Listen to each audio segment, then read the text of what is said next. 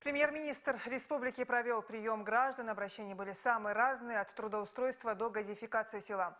Были вопросы, связанные с благоустройством придомовой территории. Так, житель Махачкалы сообщил о том, что владельцы пристроек превратили общий двор в мусорку. К строительному прибавились еще и бытовые отходы. Все это находится прямо под окнами многоэтажки. Гамидов поручил разобраться с проблемой в течение трех дней. Для этого на место уже выехали представители горзеленхоза. Была озвучена и коллективная просьба жителей села Ираки Дахадаевского района до сих пор живут без газа. Премьер сообщил, что этой проблемой уже занимаются. Еще одно обращение было от жителя Дербента. Пожилой мужчина жалуется на то, что ему не оказывают положенную по закону помощь в улучшении жилья.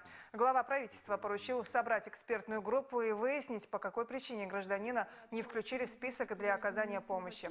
А вот Зайнудин Курбанов приехал из села Чинар. Там начато строительство новой мечети за счет средств жителей, однако никак не удается оформить земельный участок, на котором возводят здание. И вот эта мечеть хотите здесь Да, да, вот И сейчас препятствуют строительству мечети, да? А документов у вас на землю физически нет. Нет. Просто это была частная земля, Да, да. эта хозяйка вам отдала и сказала, халал сделал, да? Да, Сейчас надо провоз... А у вас в селе мечеть есть? есть Сколько?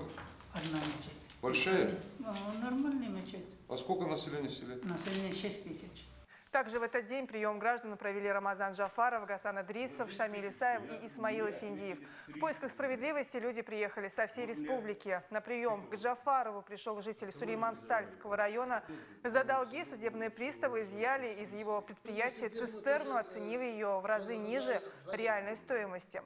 Сразу с тремя проблемами на прием к Гасану Идрисову пришел пенсионер Мужант Джанаев. Дедушка пожаловался на некачественную питьевую воду, перебой с электричеством и отсутствие специального перехода в районе Каспийской трассы.